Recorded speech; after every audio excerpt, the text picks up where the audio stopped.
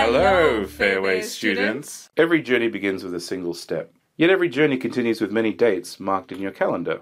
With final exams to face, here is a handy guide to remember the key steps to continuing your journey to university. In order for you to pass the Fairway program, all three assessments must be completed. Nearly everyone has achieved this, which is great. Congratulations, Fairway graduates. There are a few, though, that still need to submit an assessment. If that's you, please contact me immediately so we can sort out a new extension. Every journey needs some funding, particularly if you can get a scholarship to help you with your study at UWA. If you have completed your applications, there are heaps of scholarships available at UWA. Fairway UWA Swan scholarships are open now. If you have already completed your applications, all you need to do is send in your Centrelink payslips. If you have not completed your applications, please do so as soon as possible because applications are closing on 31st of October. If you want to apply for the accommodation scholarship, please remember that you have to make a separate application to the college.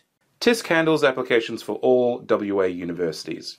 Your journey to university will go through them. You have four preferences for what you would like to study and the deadline is Tuesday, the 30th of September, 11 pm. If you have not sent through your TISC number or WACE number, please email it to either me or Umnia here at Fairway. UWA applications are open now. You must have received an email from Tristan. We have also posted detailed information on LMS. If there are still some aspects of it that you need help with, please get in touch with us now. Applications are closing on 28th of November, but we suggest do not leave it till the last minute. Apply as soon as possible. Entry to UWA requires a WACE mark of 50 or above, stage 2 or stage 3, to be eligible.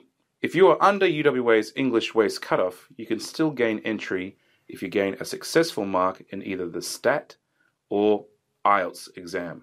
The STAT test is available through the TISC website if you need to sit the STAT to obtain English language competency, there is one test for school leavers which is on the 3rd of January 2015. IELTS is an English language test, usually for international students.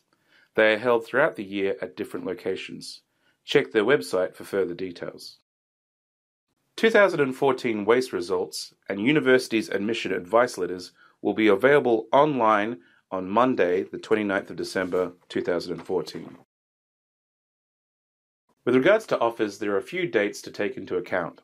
The first round closing date is on the 2nd of January 2015. This is the final closing date for you to apply or add and rearrange preferences for the main round of offers. Another date to remember is the 13th of January, Tuesday. This is the final closing date for you to update your postal address, which is very important, and your email address before the notification of the main round of offers. The main round of offers are available online and are also mailed out on the 16th of January, which is a Friday. There is the main round of offers and then there's a second round of offers. Applications to university and changing your preferences will be reopened on this date. The second round of offers close on Wednesday, the 21st of January, 11 pm. This is the final closing date for you to apply. The universities will consider you for the second round of offers for all the courses that are still open. This is also the final closing date to rearrange or add preferences for the second round of offers. Applications won't be accepted after this date. The universities will send out notifications of the second round of offers on the 3rd of February, which is a Tuesday. They will be made available online or mailed out to you. Please remember that in your university application, you can change your preferences before any of the closing dates. We hope you've marked all the important dates on your calendar, wall planner, iPhone, or any other device you prefer. Each date is another step towards your ultimate destination, university. Good, Good luck, luck, with, with your, your exams. exams. See, See, you at, at the graduation. graduation. If you need any help, get in touch.